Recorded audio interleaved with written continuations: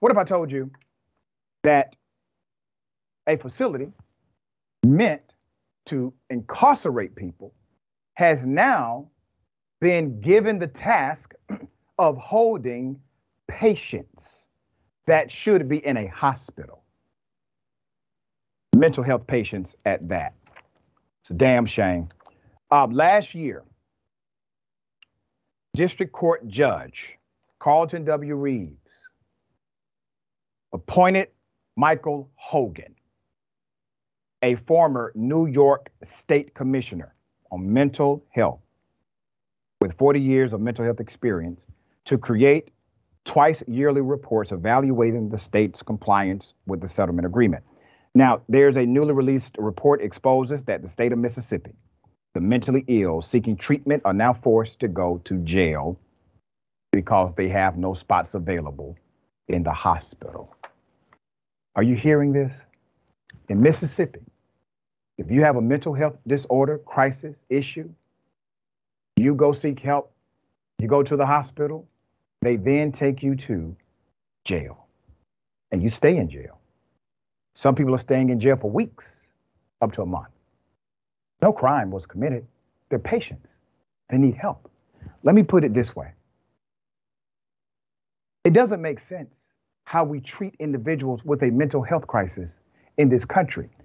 If a person goes to a hospital because they have, let's say, a broken leg, and the hospital says, Well, we can't treat you today. We're going to send you to the jail until we have an opportunity to see you.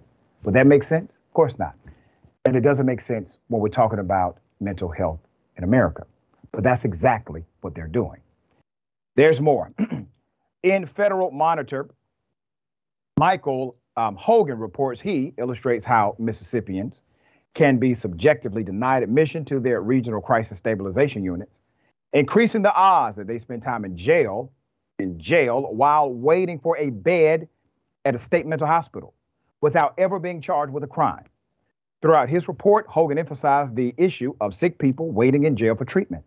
On average, during fiscal year 2022, according to DMH, on any given day, you got about 25 people who, who had to go to jail in order to go to the hospital. He called it a clearly unacceptable pattern.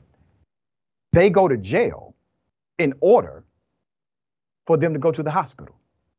This is happening right now in Mississippi. In his second report, so I just gave you the first one. In his second report, he surveyed North Mississippi State Hospital, okay, and community mental health centers. in the northern part of the state, did not find patients admitted without a serious mental health diagnosis. If there were fewer denials at the crisis stabilization units, fewer Mississippians with mental illness would wait in jail to receive health care. Of the 1,275 CSU denials, in the first half of fiscal year 2022, Hogan reported about 30% occurred because no bed was available. In many cases, because of staffing shortages. A fifth occurred because the CSU determined the person was just too violent. Other den- denials were based on the person's substance abuse or medical issue. But the monitor also noted something else. The monitor also noted that some people were not admitted uh, due to staffing shortages at the state hospitals Staffing shortages also limited the capacity at the crisis stabilization units. So, what are we seeing so far? We're seeing problems. These are problems, staffing, etc., protocol, policies.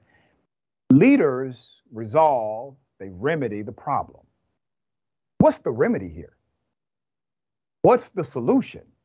Because whoever in the hell came up with the idea to put patients of a hospital inside of a jail cell should be arrested themselves. The liability, the danger, the fact that they will not receive the health care they deserve. Let's be 100. The reason why you do not hear outcry from officials in Mississippi and many others is because of the community we're talking about mental health, mental disease. That's the reason. In the view of the monitor, gross numbers of admissions do not reveal much about whether these admissions could have been avoided, he wrote. Indeed, where admissions to hospitals or CSUs may have been appropriate, but beds were not available. The failure to admit is a problem. Hogan determined the state was in partial compliance with that piece of the order. The Department of Mental Health has increased funding to the community mental health centers for security in an effort to reduce the number of denials. Once again, not a solution. That is not a solution. We're going to just give you more money. No, you need money in a plan. You need money in a strategy. You need money in better leadership. You need money in execution. Well, they said, we're just going to give you more money. That means that they want to be lazy about the remedy. They don't want to be thoughtful about it. Uh, but we are going to try to put pressure on Mississippi to be thoughtful about this and many other things. We got Jackson. What are your thoughts, brother? Well, you know, they threw them in jail. That was just a way to get rid of them and get them out of yep. the way because they didn't really want to deal with it and they thought they could sweep it under the rug. That's really all it was. And you know, this is the reality of Republican states. And, the, you know, people are always talking about Democratic cities and states, but this is a reality. This is a Republican state.